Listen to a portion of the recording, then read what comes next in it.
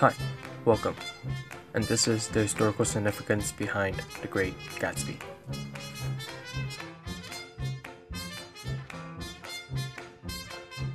Before the World War I, foreigners invested $3,000 million more than Americans invested in other countries. But after the war, it was the opposite.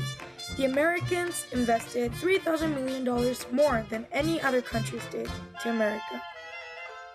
Increasing foreign investment not only increased America's economy, but also increased the quality of goods and services produced in America, which also led to more consumers.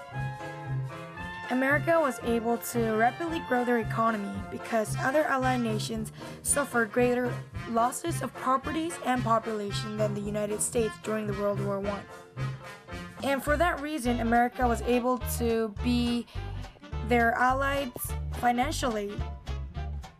Some European nations were in debt, while America was receiving the paybacks and also growing their economy, which made America greater economic power and world power in the world in that time period. With a sudden change in economic incomes, society underwent a great change as well. While it is true that America became a buzzing nation fueled by consumerism and freedom, many did not experience it. Women started to become more liberal and more integrated in society. The rise of the flapper and the increasing commonality of smoking in women symbolize this. Characters like Daisy are perfect examples of the flapper. Fashionable young women who drank, smoked, drove cars, and enjoyed life in much the same way that the men did.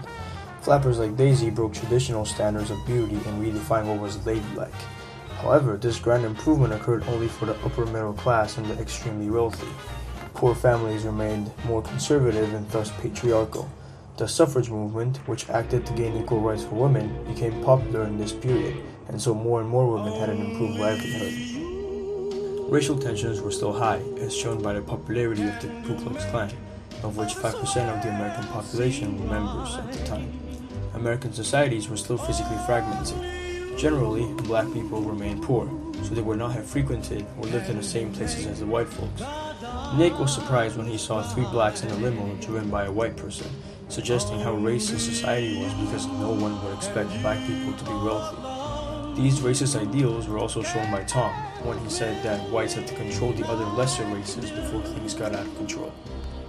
The 1920s was a time of cultural change and urbane culture became a symbol for that decade. The Great Gatsby represents the urbane culture of the 1920s representing prosperity, leisure, technological advances, and the loss of moral development. As prosperity grew, money was spent on new inventions such as cars, radios, and telephones. With new technology, radios were widely used among the houses in America through music and advertisement. It was also used to broadcast sports, which developed the popularity of baseball, boxing, and golf. The 1920s has also been called the Jazz Age, where freedom expanded. As freedom expanded, the manufacture and sale of liquors were banned after 12 a.m., and in 1920, taverns and bars were closed. It was illegal to sell any beverages with more than 0.5%. This caused people to see illegal liquor trade through layers. Education was another important factor in the 1920s.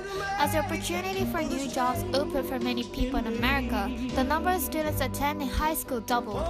Many schools started to offer students with new subjects to prepare them for useful jobs. As aspects of life were changing, Americans became less organized to religions.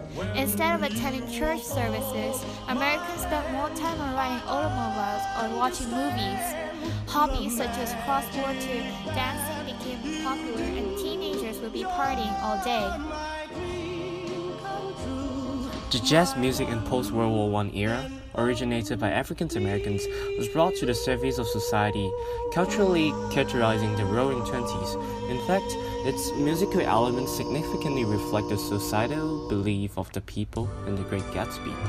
For example, jazz performance contained contains vast variety of instruments and feature a fast tempo, which illustrates characters' desire to attain excessive quantity on physical items, in other words, luxury, in a very short amount of time.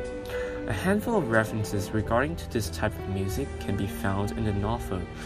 In describing the fancy party of Gatsby, Oliver Fitzgerald mentioned a notorious contralto had sung in music, in jazz, in page 46. And by 7 o'clock, the orchestra has arrived. No thin five piece affair, but a whole pit full of oboes and trombones and saxophones and viols and cornets and piccolos and lows and high drums. Now the orchestra is playing yellow cocktail music. In page 40, this again shows the strong tie between jazz and the obsession with wealth.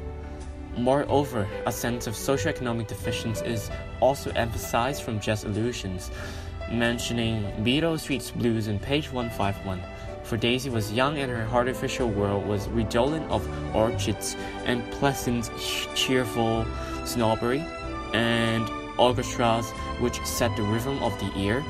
Summing up the sadness and wail the helpless comment of Beale Street Blues shows that prosperity was merely artificial and embodied exclusively by the upper class, since this jazz music is only written and sung by white and its lyrics satirize the violence and poverty of, poverty of those in the bottom of the hierarchy. Through the backstory of The Great Gatsby, we discover the golden era of celebration, the Roaring Twenties.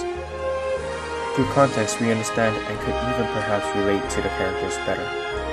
Seldom will you truly connect to a story unless you are in the moment, as are the characters. So the next time you read a book, consider the historical significance behind it, because only then are you truly a part of the story. Thank you for watching.